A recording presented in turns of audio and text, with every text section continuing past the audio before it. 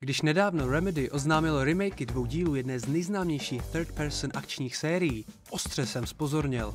Zadusil maniakální výkřik nadšení a pro jistotu si dal facku, jestli se mi to nezdá. Max Payne se vrací a já jsem v zápětí stál oba díly na Steamu. Nastavil u nich kompatibilitu s verzí Windowsu 98 a znovu se oddával blažené nostalgii. A pak mě napadlo, proč nepřipomenout i vám, mým desetimilovaným divákům, proč tu tropím scény. Připravte si analgetika, dva ingramy a havajskou košili. Jde se vzpomínat. Death was in the air at Roscoe Street. I'd have to find Alex fast. Dnes již kultovní herní příběh nás obuje do bod mladého a slibného newyorského detektiva Maxe Payna, který zrovna prožívá onen pomíjivý americký sen na předměstí Jersey, když mu hrstka feťáků pod vlivem nové drogy Valkyr zabije ženu i dítě. Naprosto zdrcen se hrdina vydává cestou pomsty, ze které není návratu. Začne pracovat jako protidrogový agent v utajení, aby přišel celé věci okolo drogy ví na kloup. Po třech letech se však věci začnou hýbat. Záhy, doslova v Yorkské minutě, se tak dostává náš renegát do víru událostí, které sahají od nejnižších kriminálních elementů přes spor mafiánských klanů až po iluminátské korporátní spiknutí. Loven kriminálníky, policisty i pocitem viny musí Max vypátrat zdroj oné drogové metly, navazovat riskantní spojenectví a konečně dostat spravedlnosti za svou rodinu. Náboj po náboji. V nejhorší sněhové bouři století se před andělem pomsty v kožené bundě a se šklebem na rtech nikdo neschová.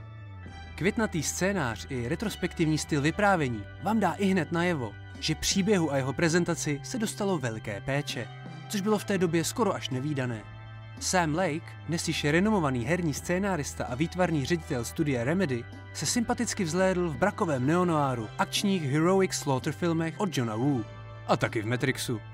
Co mě však jako malému škvrněti tehdy vůbec nedošlo je, jak moc očividně byl Lake nadšencem do severské mytologie, která na nás v multimédiích číhá na každém rohu. Již z kraje umře postava jménem Alex Balder. Jméno drogy už opakovat nemusím.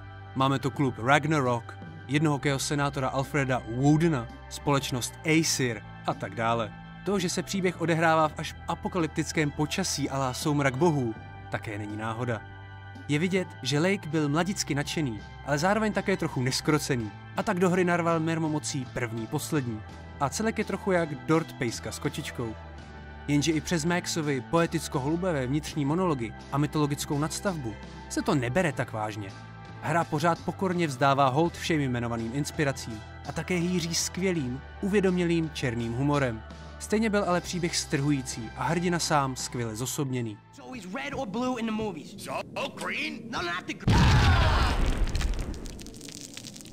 Těžko říct, jestli byl v Max Payneovi více průlomový příběhový aspekt nebo ten hratelnostní, ale vězte, že jsme tu u počátku takzvaného bullet timeu, čili zpomaleného času v přestřelkách.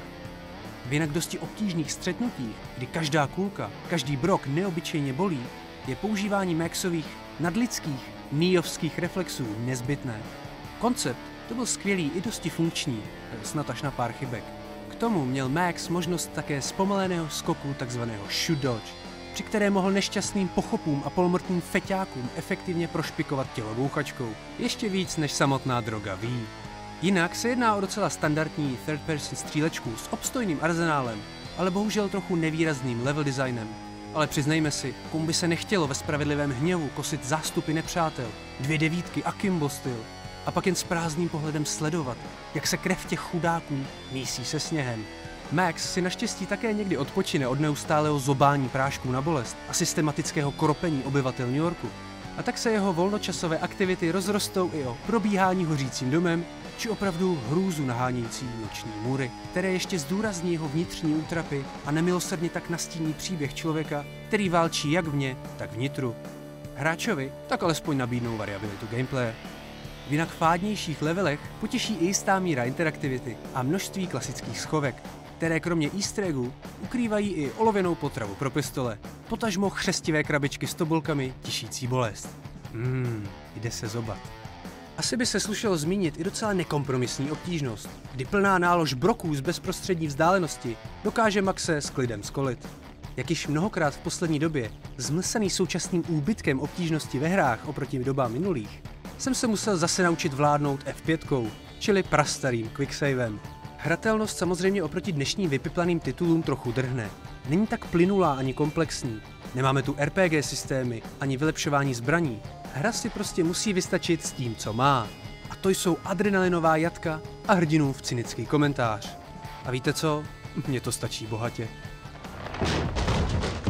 Vinny got needy. Just the man I've been killing to see.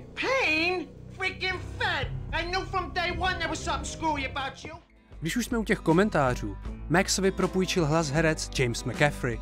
A musím říct, že to byla snad největší trefa do černého v oblasti dubbingu od do Blood Omen se Simonem Templemanem. Honey, anybody home? I didn't like the way the show started. They'd give me the best seat in the house. Front row center. Jeho hluboký, charismatický hlas, jimž McAfee vládne, je perfektní i pro našeho noárového hrdinu. Jenž trousí ironické poznámky jak na páse a k tomu nás obšťastňuje až literárními vnitřními monology. Jo, nebýt brutální vraždy jeho rodiny, mohl to být poéta. Povinnost mi káže neopomenout legendární design Geroje samotného. Jehož potměšilý šklep je tak ikonický, že si Mona Lisa se svým úsměvem může dát odchod. Jako předobraz totiž sloužil Sam Lake sám. Maxův zácpovitý, válečný gezicht bude nahánět hrůzu jeho nepřátelům už navždy. E, Tedy spíše do druhého dílu, kde si hrdina projde kýženým faceliftem. Další výrazný umělecký prvek spočívá v komiksových panelech, které místo pracných cutscén posouvají příběh dál a nabízejí úžasný způsob, jak okořenit vyprávěčskou stránku hry. Můžete si v nich volně listovat, takže o nic nepřijdete. Pamatuji si, jak jsem jako maličký holobrádek vždy komiks pozastavil a poctivě jsem si překládal složitější výrazy. Nostalgie vrcholí, když si navíc člověk poslechne jedinečně tesklivou úvodní znělku, která z temných smyčců a morikonovského tepání a la film věc krásně ústí až do velkolepého orchestrálního finále Lahoda. Prostředí, modely postav, efekty, tedy celkově vizuální aspekty, dosti zestárly. Stejně tak absence lepšího fyzikálního modelu bolí. Nicméně tehdy, na přelomu tisíciletí, se jednalo o vyšší standard.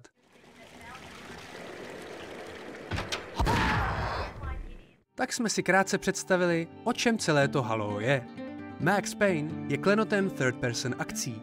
Někdy trochu hrubým, ale stejně se lesknoucím jako Silmaril. Hrdě nosí své inspirace jako odznaky cti a ve své době nabízel až filmový zážitek a mě dal jedny z nejhezčích vzpomínek na počátky mé hráčské pouti. Příště si pro dobrou míru zavzpomínáme i na dvojku, kterou jsem osobně dohrál snad ještě víckrát. Než tedy remakey výjdou v nejasné době budoucí, doporučuji si osobně připomenout jedny ze stavebních základů příběhových third-person akcí. Možná se znáte, že mají i dnes ten správný šmrnc. Pokud se vám video líbilo, dejte like nebo napište komentář. Jaký oblíbený prvek vás na hře zaujal? Jakou další hru od Remedy doporučujete? Dejte nám vědět. Zatím s Bohem.